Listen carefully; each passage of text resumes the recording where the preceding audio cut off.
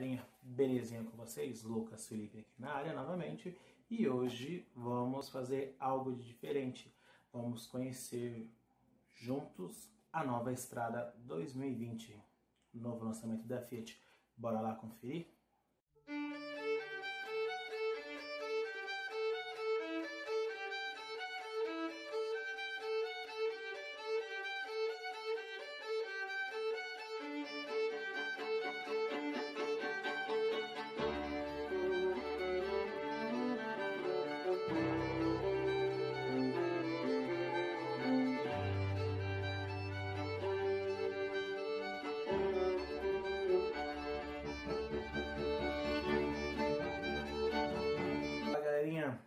Lucas Felipe na área novamente. É um prazer ter vocês aqui no nosso canal.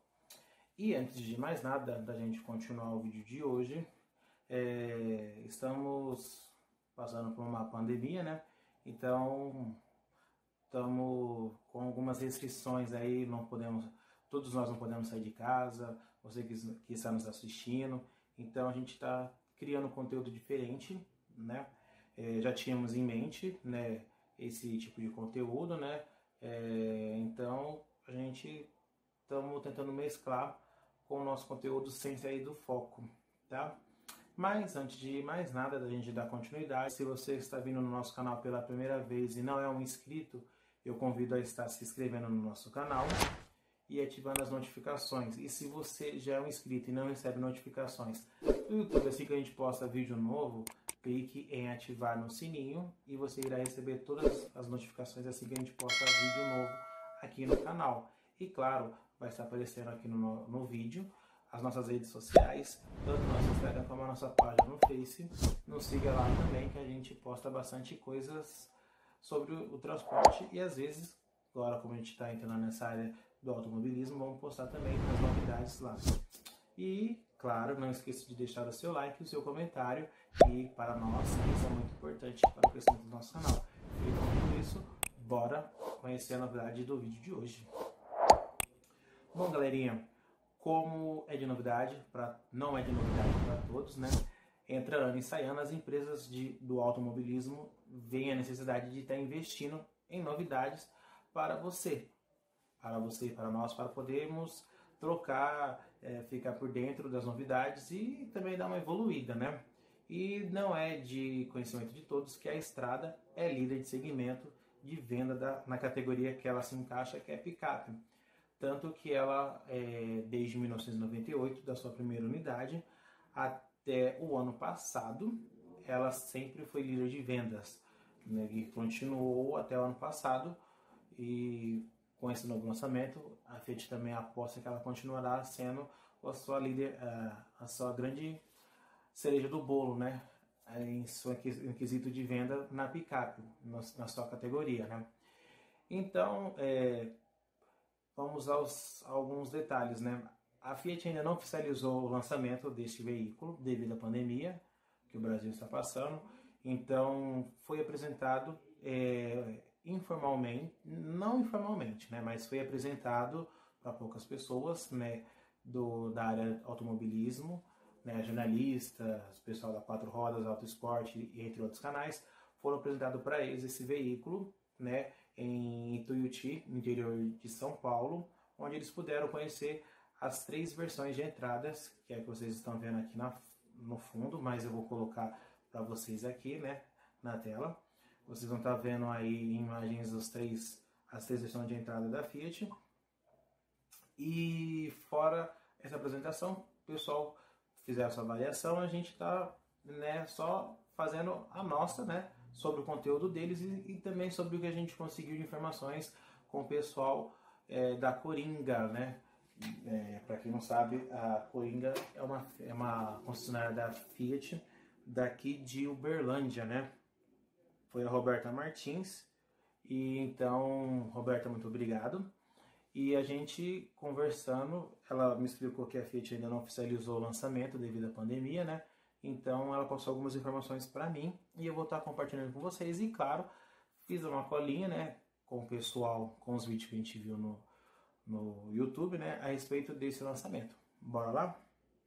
Bom, Já logo de cara, no dia que eu vi a primeira foto dela, eu olhei e já falei que é Mini Toro. Eu achei que estaria equivocado, mas não. Nos vídeos que eu assisti, todo mundo falou que ela seria a Fiat, ela é a Mini Toro da Fiat, né? Porque a, a, estrada, no caso, ela já é um veículo picape, né? No caso, ela vem no segmento quase que off-road, só que ela está ali abaixo da Toro, que a Toro já é uma, uma picape, é, eu não sei muito bem, mas ela seria já meio que um off-road, se eu estiver errado. Mas, no caso, a Toro compete com a S10, se eu não estiver enganado, com a Duster, com a Frontier, entre outros no mesmo segmento, e desses 20 anos que a estrada esteve é, sempre a líder no comércio, ela teve seu, as, suas rivais, que foi a Saveiro, como vocês estão vendo na imagem, Saveiro, a Montana, a Contier, Corrier, só que a Corrier já não fabrica mais, e o Duster, só que o Duster... Duster? Não. Deu branco. Mas vai aparecer o nome do carro aqui na, na ele não entra ele não entra como no meu ponto de ver ele não entra como picape porque é um pouquinho maior então no caso seria rival da Toro mas como eu disse ele essa estrada nova seria mini Toro né você olhando ela pela lateral você vê que ela lembra muito a Toro na frente é, o farol dela em D, DSL todo em LED lembra um pouquinho o Mob, mas a sua grade, se olhando assim, lembra um pouco o Argo. Então, na verdade, essa estrada ganhou um belo de um upgrade. Né? E o diferencial dela também é que nesse ano, é, nessa nova renovação da Fiat, fora essa e as próximas que estão para vir, ela deixa aquele logo, não é antigo, mas aquele logo da Fiat vermelho, esse que vocês estão vendo aqui na imagem, e ela ganha agora a grade, a escrita Fiat. Antigamente vinha na parte traseira dos veículos, né, como Cronos, é, Cronos a Toro com a sua nova reutilização, entre outros veículos, ganhavam a norma da Fiat atrás e agora na Fiat Estrada ela vem na frente. Bom, é, em suas especificações, na parte da frente ela ganha 24 graus de 24 graus de ângulo né, entre a sua boca ali entre o chão, né? Então isso dá uma boa estabilidade para ela, para você tentar fazer um mini off-road. É, não para você fazer igual você faria com uma, uma traçada, né? E detalhe que também eu vou falar aqui, ela vem com o um sistema 4x4, né, da Fiat, que é o E-Lock, né, que é o controle de tração avançado. E e ela vai ser vendida né, em três versões. Ela vai ser vendida na versão Vulcano, Freedom e Endurance. Essas três versões ela pode ser comercializada tanto na versão é, cabine simples ou cabine dupla. Já a versão Vulcano, que é a top de linha, ela só vai ser vendida somente em cabine dupla, com motor de 1.3 com 109 cavalos de potência. E um detalhe por enquanto, neste ano, a Fiat não pretende colocar nessa estrada ou na sua linha toda a versão câmbio é, CVT, se não me engano é o Dualogic, o câmbio deles. É, então, por enquanto, não vai vir o CVT na estrada, mas para o ano que vem pode ser que venha na Fro, em toda a sua linha da, da Fiat, né, os seus novos lançamentos e a estrada também possa ganhar. Mas vamos lá, é, como eu disse, ela parece um pouco a Toro, né? Ela tem uma diferença mínima de altura, né? É, milímetros do chão. A Toro tem seus 17 e 44, se não estiver errado, né? Que eu, eu não vi, eu vi uma especificação de um site. E na Fiat mesmo, no site dela, fala que a Fiat Strada tem 208 milímetros de altura do chão. Então, elas são ali para a par, né? Então, vamos dizer assim que é a mini Fiat Toro mesmo. A versão de entrada da, da estrada permanecerá a que está no mercado, né? A RAM vai estar aparecendo na foto aí, né? Que a pronúncia não pode ser errada. Vai estar aparecendo no vídeo aí para vocês. Essa vai ser a versão de entrada. No caso, as outras versões vão sair e vai ficar somente essa. E como disse, serão três versões, né? A Endurance com cabine simples ou cabine dupla de motor 1.4, 88 cavalos de potência. Temos a Freedom, também cabine simples e cabine dupla e motor 1.3, gerando até 109 cavalos de potência. E a versão Vulcano, que é a versão que seria a versão é, Adventure, que vai ser a completa. Também é 1.3, é 1.3 e 109 109 cavalos de potência, né? Bom, é, a lista de itens que a Fiat divulgou a respeito desse veículo são as seguintes, né, que já são de série. Tem a cabine dupla, né, no caso que são é, na versão Freedom e a Vulcano. A Vulcano, no caso, bom, as três versões são medidas, você tem a opção de comprar ela simples e dupla, mas a Vulcano você compraria somente a cabine dupla. Ela não tem como você pegar simples ou a dupla. Então elas contêm, é, todas elas incluem é, de configuração cabine dupla ou simples, ainda há faróis de LED, assistente de partida em rampa em todas as versões e controle de estabilidade de direção e o E-Lock, que é o controle de tração avançado. Esse E-Lock, no caso, já acompanha já alguns carros da Fiat já para quem não se lembra, teve a versão do é, na linha Adventure, né? Que era o Adventure Lock, que é esse sistema de tração que equipava os carros ideia Adventure, doblou a própria estrada e o Palio Adventure Lock. Né? Todos esses carros tinham esse, esse sistema de traçado. É, agora vamos falar um pouquinho sobre as melhorias do carro, né? Para quem pede, para quem pretende usar, desculpa, para quem pretende usar com frequência a caçamba, uma boa notícia. As versões cabine simples agora possuem 720 kg de capacidade e 1.354 litros. Então, no caso, a cabine simples é mais para quem é, gosta de carregar, mais para quem gosta não, né? Para quem trabalha na fazenda e vê a que precisa deste veículo para poder carregar as coisas ali em cima, então compensaria mais a versão cabine simples e ela, a tampa, pelo que eu vi em vídeo, ela aguenta mais um pouquinho de peso ali, não que, gente, não que eu esteja instruindo você a comprar uma Fiat Strada e colocar dois ou três Lucas ou pessoas sentadas ali, porque a tampa ali não foi feita para sentar. E ela tem porta-copos, mas é, não é muito bem indicado, né? Você botar a gente sentada ali, um ou dois, beleza, mas sentar ali, nem pensar. E já na versão cabine dupla, passa a ter 650 quilos e a capacidade de 844 litros. Antes ela tinha menos, ela tinha 700 litros. Então, é, para você que está pensando, você que trabalha com fazenda e estiver pensando, né, compra a versão simples se você é mais um aventureiro para carregar bicicleta, viajar mais família, tem a opção cabine dupla e detalhe, cabe cinco pessoas, né? É, dois na frente, né? E três atrás. Eu não pude conferir, mas pelo vídeo, pelos vídeos é parece bem espaçoso o veículo na parte de trás, cabe cinco pessoas.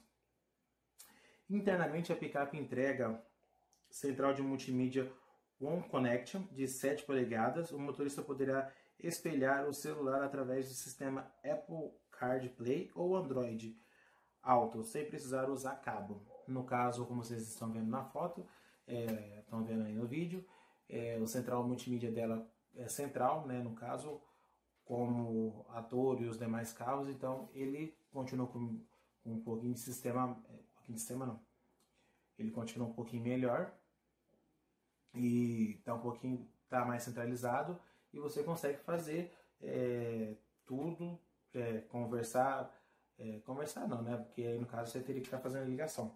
Você pode fazer ligação, controlar tudo ali pelo painel de multimídia do próprio veículo, né? Com essa tela imensa que está aí, na, como vocês podem ver. Segundo informações que eu obtive com o pessoal da Coringa, é bem provável que, que ela vai chegar no mercado para a segunda quinzena, já no mercado. E é um veículo bastante interessante, pelo que eu vi as especificações né, da própria Fiat, alguns designers e tudo mais, né? Mas agora a gente vai aprofundar nela mais um pouquinho, que fora essas informações que eu consegui, a gente vai ver mais um pouquinho a respeito dela, juntamente aqui com o pessoal da Fiat. Agora vamos conhecer algumas especificações diretamente do site da Fiat, né, dela, né? Questão de robustez e segurança. São 208 milímetros de altura do solo e 24 ângulos de entrada, sem contar com a suspensão de eixo e mola, airbags laterais e controle de tração e estabilidade, que a gente já falou para vocês, que é o controle de tração, que é o E-Lock dela, né, que vai estar disponível em todas as versões. Capacidade de carga leve com você só o que precisar, tudo com capacidade de 720 kg e o volume de 1.354 litros nas versões cabine simples e 650 na versão dupla, como eu disse, né? Agora, é, a versão estendida, a cabine dupla, ela possui quatro portas, né? De muito espaço, é lógico, né? Porque, na verdade, lógico não, né? Porque as versões anteriores, até a, a estrada de ventre, se eu não estiver enganado, era três portas, eu não sei se acabou tirando ou não, que aí no caso a pessoa entrava pelo lado do passageiro, né? E até a versão anterior era essa, no caso era a cabine simples, só que o passageiro era só duas portas, né? Então agora no caso seria cinco e seriam quatro portas e agora ela tem cinco espaços, cinco lugares. O design dela, o DNA dela italiano, se une à força brasileira. Uma mistura de funções e emoção que fortalece a identidade da picape com os novos faróis em LED e rodas de aro 16. É, no caso, imagino que aro 16 seria na versão Freedom Vulcano ou qualquer uma dessas versões você poderia pedir. Mas, particularmente eu, se fosse comprar uma simples, não colocaria roda de aro liga leve 16 se fosse para colocá-la na estrada, na estrada de terra. Se fosse para rodar na cidade, até que arriscaria, mas aí não compraria a simples, compraria a cabine dupla que é mais bonita. A, é, cabine dupla mesmo. Conforto e tecnologia. Dirigir virou uma experiência. Com central de multimídia Uniconnect de 7, espalha seu celular via Apple CarPlay e o Android Auto. Integra com sua câmera de ré e além disso a nova estrada tem direção elétrica e melhor consumo da categoria. Para quem não sabe, as versões anteriores tinham é só direção hidráulica e agora essa é elétrica. Diga-se de passagem, a direção elétrica é uma delícia. Já tive a oportunidade de dirigir alguns carros. É... Participamos de uma feira de veículos elétricos, onde eu dirigi um XC, um Volvo XC90, né, lá dentro do salão do evento, só que a gente ainda, na verdade, eu não tinha, não tínhamos ideia de fazer nada para o conteúdo. Eu fui mais para participar do, do salão salão do veículo elétrico, né? Então não acabei gerando conteúdo nenhum, né? Questão que estava lá. Mas esse Volvo, o Volvo a BMW que eu dirigi, direção elétrica, perfeito. E fora a câmera 360 graus, que também é uma coisa fora do comum. Você vê tudo ali no painelzinho assim, você fica. Mas seria isso, né? E e como eu disse, ela vai ser vendida em três versões: versão Vulcano, a Freedom e a Endurance. E a versão de entrada, né, permanece na estrada Ondarot, uma coisa assim, para não falar meio errado, né? Vai estar aparecendo de novo a imagem dela daí. Belezinha, galera? Espero que vocês tenham gostado do vídeo de hoje. Não esqueça de deixar o seu like, o seu joinha aqui para nós, isso é muito importante. E compartilhe em todas as redes sociais. E e espero em breve, né, com o lançamento da, da nova estrada chegando no mercado, poder ir lá mostrar de pertinho ela para vocês. Belezinha? O meu muito obrigado e bora pro próximo conteúdo.